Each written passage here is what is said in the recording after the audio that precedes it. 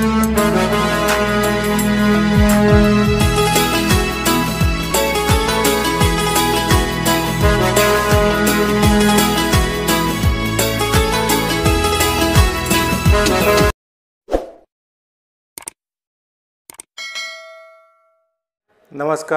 जय गुरुदेव।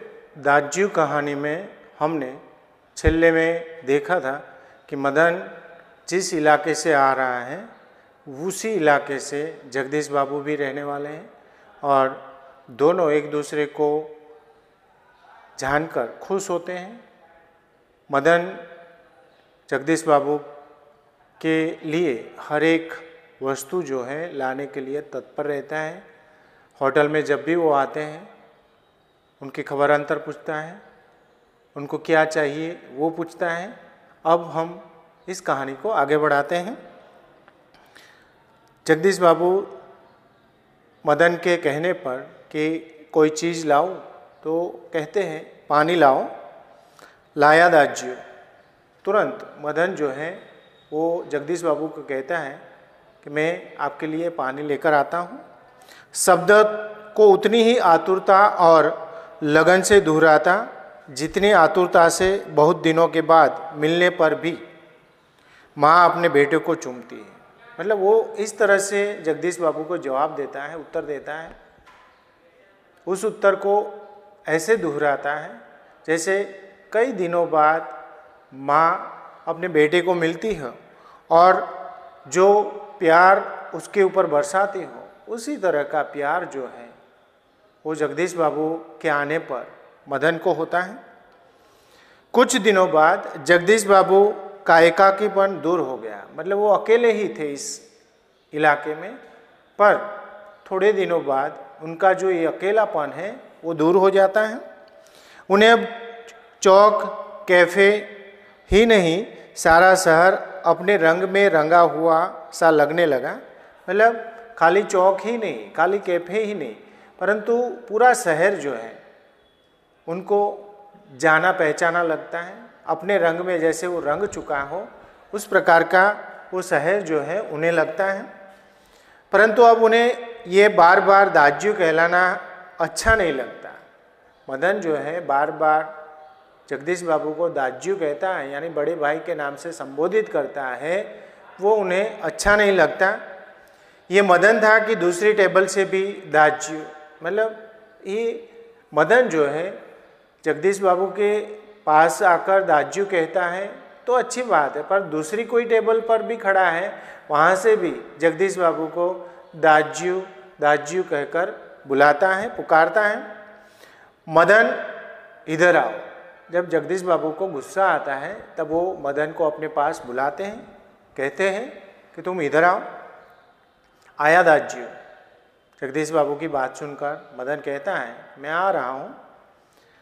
चाय नहीं लेकिन ये दाज्यू दाज्यू क्या चिल्लाते हो दिन रात मतलब मुझे चाय नहीं चाहिए परंतु तुम जब भी मैं आता हूँ दिन रात कोई भी समय हो तुम दाज्यू दाज्यू क्यों लगाए रखते हो क्यों बोलते रहते हो किसी की पेस्ट्रीज का ख्याल भी नहीं है तुम्हें मतलब किसी की इज्जत का तुम्हें अंदाजा नहीं है तुम ખ્યાલ નહીં રખતે હો કોઈ માણસની ઇજ્જત ઓછી થાય છે એ વસ્તુનું તારે પણ ધ્યાન રાખવું જોઈએ. એવું જગદીશ બાબુ જે છે, એ આ મદનને કહેવા માંગે છે કે તું દરેક જગ્યાએથી દાજ્યું દાજ્યું કહીને બોલાવે છે. એ સારું નથી. જગદીશ બાબુ કા મુંહ ક્રોધ કે કારણ તમતમા ગયા. મતલબ જગદીશ બાબુ જે છે, ગુસ્સાના કારણે લાલ ગુમ થઈ ગયા છે. એનું મોઢું જે છે, ગુસ્સામાં છે. શબ્દો પર અધિકાર ન રહી શકા. મતલબ પોતાના શબ્દો ઉપર એ નિયંત્રણ નથી કરી શકતા. મન ફાવે એવું બોલી નાખે છે? મદન પેસ્ટ્રીજ કા અર્થ સમજ સકેગા યા નહીં? મતલબ સામેવાળો છોકરો જે છે, અભણ છે, નિરક્ષર છે? તો એને આ પેસ્ટ્રીજ મતલબ મોભો જે છે, એ શબ્દનો અર્થ એને ખબર પડે છે કે કેમ? એ ખબર નથી. એ બી ઉને ધ્યાન નહીં રહ્યા. મતલબ આ વસ્તુનું પણ એમને ખબર નથી રહેતી. પર મદન બિના સમજ્યા હે સબકુછ સમજ ગયા હતા મદનને આ શબ્દનો અર્થ સમજાયા વગર જ એને ખ્યાલ આવી ગયો હતો કે જગદીશ બાબુને દાજ્યું દાજ્યું શબ્દ જે છે એથી એ બોલાવે છે એ ગમતું નથી. મદન કો જગદીશ બાબુ કે વ્યવહાર છે ગહેરી ચોટ લગી. મતલબ એ તો પોતાના મોટા ભાઈ સમજતો હતો જગદીશ બાબુને. પરંતુ જગદીશ બાબુ જે છે, જ્યારે એને ધમકાવે છે, એની ઉપર ગુસ્સે થાય છે, ત્યારે એને દુઃખ લાગે છે. મેનેજર સે સિર દર્દ કા બહાના કર, વ ઘૂંટનો મેં सर दे कोठरी में सिसकिया भर भर रो रहा મતલબ કેફેનો જે મેનેજર હશે એની પાસે પોતાને માથું દુખે છે એવું બાનું બતાવી અને પોતાની રૂમ ઉપર ચાલ્યો જાય છે બે પગ વચ્ચે માથું રાખી અને ધ્રુસકીને ધ્રુસકે એ બાળક જે છે રડી પડે છે ઘર ગાંવ સે દૂર ऐसी परिस्थिति में मदन का जगदीश बाबू के प्रति आत्मीयता प्रदर्शन સ્વાભાવિક ही था મતલબ પોતે પોતાના ઘરથી દૂર હતો અને એ પોતાના પરિવારથી પોતાના ગામથી જ્યારે દૂર હતો ત્યારે જગદીશ બાબુ પ્રત્યે એને લાગણી થાય એને આત્મીયતાનો સંબંધ થાય એ સ્વાભાવિક વાત હતી इसी कारण आज प्रवासी जीवन में पहली बार उसे लगा जैसे किसी ने उसे ईजा की गोदी से बाबा की बाहों के और दीदी के आंचल की छाया से बलपूर्वक खींच लिया हो મતલબ એને પહેલી વખત જ આ જગદીશ બાબુની વાત સાંભળીને ગુસ્સો આવે છે મતલબ દુઃખ લાગે છે કે એની માના ખોળામાંથી એની બેનના પાસેથી અને એના પિતાના જે બંધનમાંથી કોઈએ ખેંચી અને જબરજસ્તી દૂર જઈને ફેંકી દીધો હોય એવો અહેસાસ જે છે એને લાગે છે પરંતુ ભાવુકતા સ્થાયી ન હોતો, એટલે લાગણી જે છે, એ જ્યારે ન હોય, ત્યારે આવા પ્રોબ્લેમો જે છે, આવી સમસ્યાઓ જે છે, થતી હોય છે. રોલ એને પર, અંતર કી, ઘુમડતી વેદના કી, આંખો કી રાહ બહાર નીકળને પર મનુષ્ય भी નિશ્ચય કરતા હૈ કે વે ભાવુક ક્ષણો કે અપેક્ષા અધિક વિવેકપૂર્ણ હોતે હૈ. મતલબ જ્યારે સામેવાળી વ્યક્તિને તમારી પ્રત્યે લાગણી ન હોય, તમે લાગણીશીલ હોય. અને એ લાગણીશીલના જે ઉમળકા જે છે, એ ઉમળકાની અંદર જ્યારે તમને પોતાને ઠેસ લાગે છે, ત્યારે ચોક્કસ નિર્ણય ઉપર વ્યક્તિ જે છે પહોંચતી હોય છે. હવે, એ પોતે દરેક જગ્યાએ વ્યવસ્થિત રીતે લાગણીમાં તણાયા વિના એ પોતાનો વ્યવહાર રાખશે, વ્યવહાર કરશે. મદન પૂર્વવત કામ કરને લાગા. આ બાળક જે છે પહેલાં જેવી રીતે એનું કોઈ ઓળખીતું પાળખીતું નહોતું અને જે યંત્રવત કામ કરતો હતો એવી જ રીતે ફરી પાછો એ કેફેની અંદર એનું કોઈ ઓળખીતું નથી એવા ભાવ સાથે કામે લાગી જાય છે दूसरे दिन कैफे जाते हुए अचानक ही जगदीश बाबू की भेंट बचपन के सहपाठी हेमंत से हो गई બીજા દિવસે જગદીશ બાબુ આ હોટલની અંદર કેફેની અંદર જતા હોય છે ત્યારે એમના જે બાળપણના જે મિત્ર જે છે સહપાઠી મતલબ સાથે ભણવાવાળા વ્યક્તિ જે છે હેમંત જે છે એની સાથે એની મુલાકાત થાય છે कैफे में पहुंचकर जगदीश बाबू ने इशारे से मदन को बुलाया परंतु उन्हें लगा जैसे वह उनसे दूर दूर रहने का प्रयत्न कर रहा हो જગદીશ બાબુ અને હેમંત જે છે કેફેની અંદર પહોંચે છે મદનને હાથનો ઈશારો કરીને બોલાવે છે પણ મદન જે છે જાણે જોયું જ નથી અને જગદીશ બાબુથી એ દૂર જતો હોય, દૂર રહેવા માંગતો હોય, એવી રીતે એ પોતાનું વર્તન કરે છે. દૂસરી વાર બુલાને પર હી મદન આવ્યા મતલબ બીજી વખત જ્યારે જગદીશ બાબુ એને બોલાવે છે, ત્યારે જ મદન જે છે જગદીશ બાબુ પાસે જાય છે.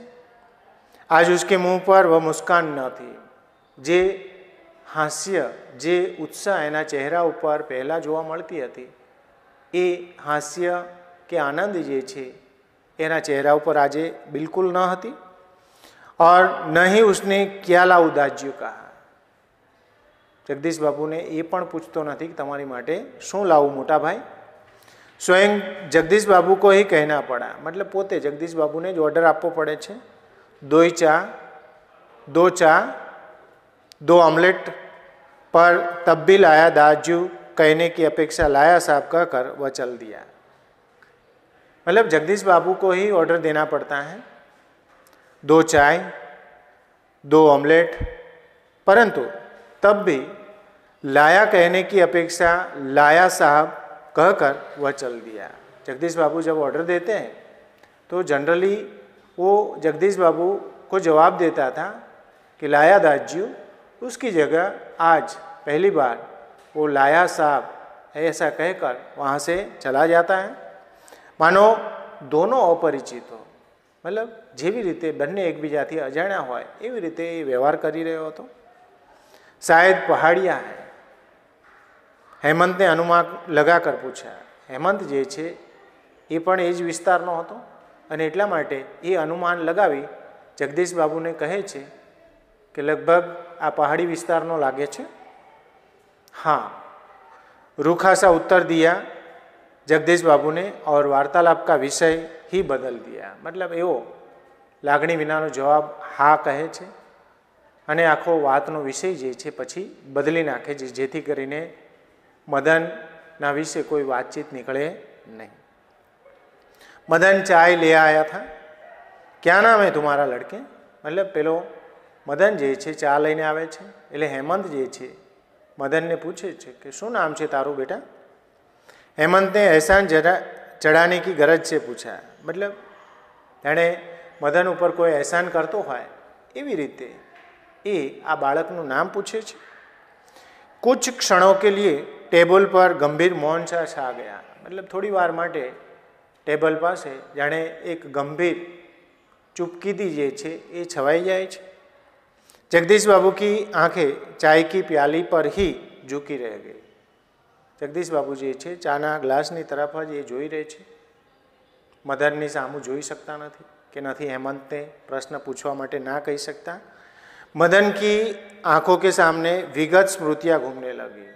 મદન જે છે, એની આંખની સામે ભૂતકાળની યાદો જે છે, એ તાજી થઈ જાય છે.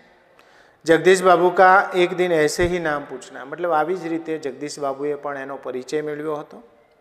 ફિર દાજ્યું. આપને તો કલ થોડા ય ખાયા મતલબ એ પછી. મોટાભાઈ, તમે તો કાલે થોડુંક જ જમ્યા હતા.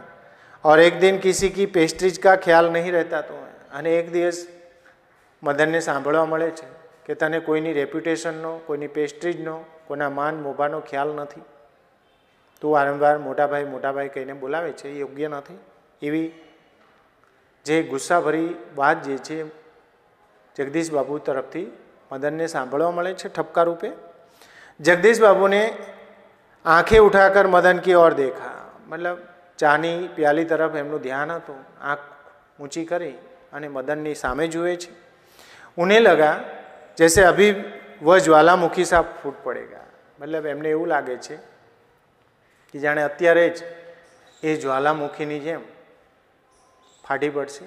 એટલો ગુસ્સો જે છે મદનના ચહેરા ઉપર જગદીશબાબુને જોવા મળે છે. હેમંતને આગ્રહ કે સ્વર મેં દુહરાયા મતલબ ફરી પાછો આગ્રહપૂર્વક એ વાતને રિપીટ કરે છે. ક્યાં નામ હે તુમારા મતલબ શું નામ છે તારું?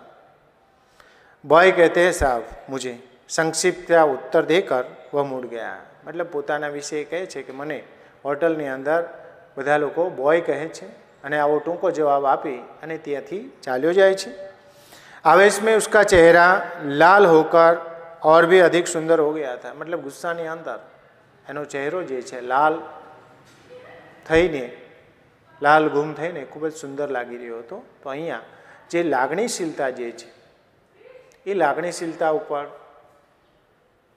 અસર કરવી વાર્તાના એક જે છે મદન છે જગદીશ બાબુ જે એની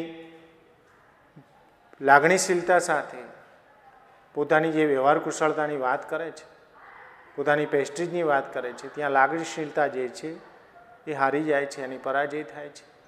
તો અજાણ્યા વ્યક્તિ સાથે આવી રીતે ક્યારેય જોયા જાણ્યા વિના હળીમળી ન જવું જોઈએ, એ મદનના પાત્ર દ્વારા આપણને શીખ મળે છે, નહીતર મદનની જેમ છેલ્લે દુઃખ જ પ્રાપ્ત થતું હોય છે. તો અહીંયા આ પાઠ જે છે, દાજ્યુ કહાની પૂરી કરીએ છીએ. ધન્યવાદ. જય ગુરુદેવ.